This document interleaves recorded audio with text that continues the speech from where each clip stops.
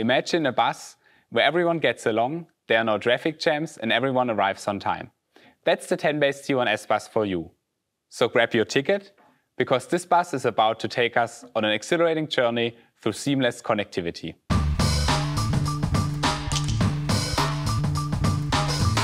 Hi, I'm Simon, Product Management Engineer at Vector. Today I'm excited to introduce you to your ticket to the 10-base T1S world, the VN5614, a versatile and reliable interface that caters to both lab and field environments. Whether you're simply monitoring and analyzing a 10-base T1S bus or embarking on a complex bus simulation project, the VN5614 is the ideal solution for you. The VN5614 connects to your computer via USB-C with a fixed cable length of 1 meter.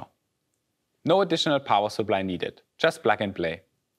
The iX industrial connector on the front panel supports two separate automotive Ethernet 10-base T1S buses with link speeds of 10 megabits per second.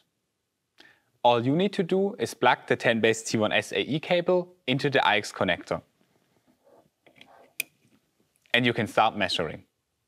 Questions about cabling of the 10-base T1S bus? Check the description for a link to our YouTube playlist on 10-base T1S. Details about this cable in our accessories manual. With the Vector Hardware Manager tool, the VN5614 is quickly configured as a multi-drop segment. The multi-drop segment allows multiple simulated nodes to be easily connected to the bus line.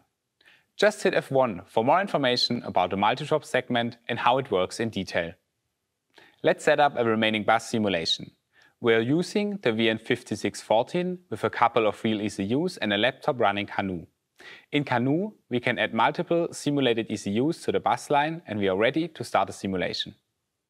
The VN5614 can also report low-level errors and events on PHY-level collision avoidance layer, also known as PLCA. Future CANoe versions will support these messages in the trace window to easily observe beacon messages, statistics, and timing or error events. Observing is a key feature of the VN5614.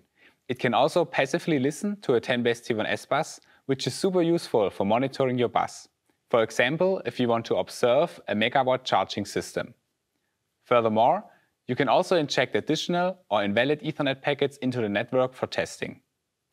High precision timestamps and the possibility to be synchronized to other Vector devices ensure reliable measurement results.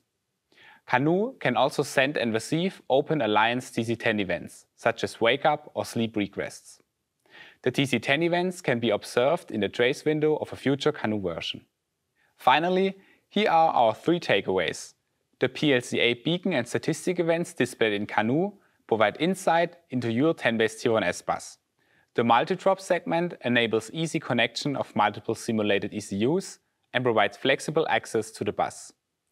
With TC10, you can easily test the wake-up and sleep behavior of your ECU.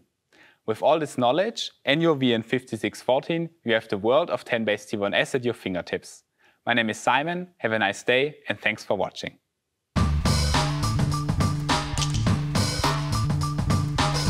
The VN5614 will make your 10-base T1S experience a special one.